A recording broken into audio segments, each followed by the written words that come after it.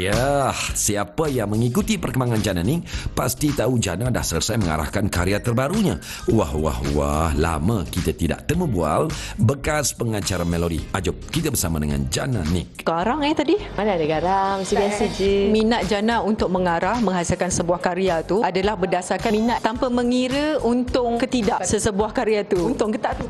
Kalau tanya untung tak untung, pada ketika ini saya producer, saya director kan. Saya tidak menitik beratkan keuntungan. Bila saya nak berkarya, saya tak nak ada limit. Yang penting saya dapat apa saya nak. Memang betul nak pergi kualiti. Keuntungan tu memang setakat sekarang tak nampak lagi lah. Pelakon kita memang setakat yang saya buat daripada awal memang orang akan tahu. Saya berhabis duit lah dekat pelakon. Saya juga seorang pelakon. Bila artis bagi rate tu, kita tak nak nego tau. Sebab kita tak nak ada masalah di kemudian hari. Ada orang rasa tak puas hati. Kita tahu rate pelakon ni datang dengan kredibiliti dan kualiti. Kalau nak pelakon A-list lah katakan, kita kena terima lah. Yang ni at least lain pula. Sini. Ni, mari sini. Walaupun ada juga kontroversi dan sebagainya, tetapi Dini tetap kuat lah dari segi mental. As in macam, yelah relationship tu mungkin banyak cabaran dia. Mustahil kalau tak ada cabaran, betul tak? Mestilah mustahil sebab every relationship tak kisahlah dengan siapa is always going to have their complications. Over the years saya dah makin faham dia, cara dia berfikir, emosi macam mana. Bila kita faham each other, benda tu jadi lebih senang. Untuk telemovie ni kan, dia adalah editor you. Sebelum ni dia jadi kita punya DOP, director of photographer pun. Kita punya chemistry dalam bekerja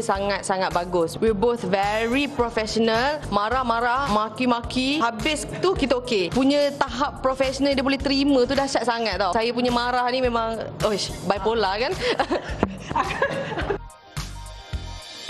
Saya faham emosi dia. We don't have that barrier. Takut nak marah-marah dia, takut nanti dia terasa dia lari. Kalau orang lain mungkin dia akan macam, engkau nak maki aku lebih-lebih. Bukannya aku dapat apa-apa benefit pun. Pun janji kita dapat yang terbaik. You persetankan kata-kata orang lain bila lah nak kahwin, oh dah kahwin, oh belum lagi kahwin dan sebagainya. Orang tetap asak soalan yang sama. Sampai bila nak? Masih on the way lagi. Mungkin dia rasa benda ni lama. When it's between me and Jana, tak rasa, tak rasa lama sebab kita sangat-sangat busy, with work. Percayalah cakap saya. I came from a broken family. Untuk ada satu family, anak-anak, itu tanggungjawab yang sangat besar untuk saya. Bukannya saya tak nak ada sekarang ni. I need to focus to a lot of things. I nak build my own empire. When everything betul-betul dah ready, I boleh fokus on my family. One day betul-betul nak ada anak-anak dan saya boleh fokus. Untuk ada anak bukannya benda yang saya boleh lepas tangan. Macam mana artis-artis ada family, you duduk kat tempat kerja 18 jam. How you nak jaga anak-anak you? I tak nak anak-anak I terbiar. Bagi I time, I akan umumkan benda yang baik kepada semua insyaAllah. Sampai bila pun akan ada kata-kata yang kurang enak bertibaran. Kasar bunyinya, eh sampai bila nak mengundang fitnah? Komen Dini dan juga Jana. Netizen and media semua, they have every right untuk rasa macam tu, untuk tanya. I tak terasa bila orang tanya ke, dia orang nak cakap macam kurang buat benda yang tak elok ke. I tahu apa plan I, niat I. Kita pun sedar kita mengundang. Ha,